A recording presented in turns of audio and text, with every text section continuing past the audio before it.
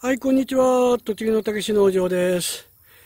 えー、9月の上旬ね、えー、お葬式とか、えー、戸祭りくんちのね、え、稲刈りとかでね、えー、種まきですね。あの、ヘアリーベッジ、緑肥の、うん、種まきがね、え、ちょっと中断してたんですが、え、今日、9月15日、晴れましたんでね、えー、これから、えー、午後1なんですけど、ヘアリーベッジの、うん、種まきをしたいと思います。ここ20ワールです。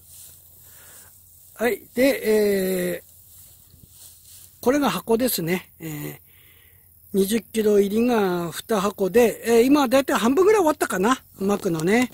はい。で、えー、これが種です。はい。ちょっと大きくてね、巻きやすいです。じゃあね、えー、これから、えー、ここね、20ワールなんですけど、えー、種まきをしたいと思います。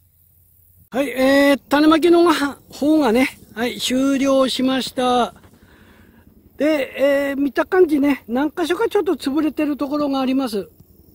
このね、あのー、ちょっと低くなってるっていうか、くぼみ見てないところが、まあ、潰れてます。ただ、あの、致命的な潰れ方してないんでね、まあ普通に、ごくごく普通に枯れちゃうのかななんて思ってます。で、奥の方がちょっと柔らかいですし、やっぱり奥の方がちょっと草丈長いかな。でもあのー、今回ね、えー、種まきで入ってみて分かったのが、一枚の田んぼでも、やっぱり生育がかなり違うというのが分かりました。これはね、もうこの年になって大収穫です。はい、かなり違います。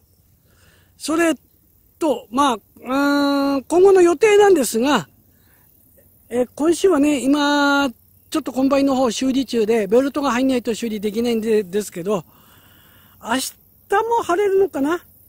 ほんで、週末が天気悪くなって、えー、来週の月曜日あたりからまた晴れ回りかな？あ3、4日晴れマークになってるんで、来週の月曜日、えー、20日になるのかな？20日あたりから、まあ、ここをスタートですね。えー、ここを一番最初に稲刈りをやりたいと思います。ということで、えー、緑肥のね、うん、種まきの様子でした。え、最後までご視聴ありがとうございました。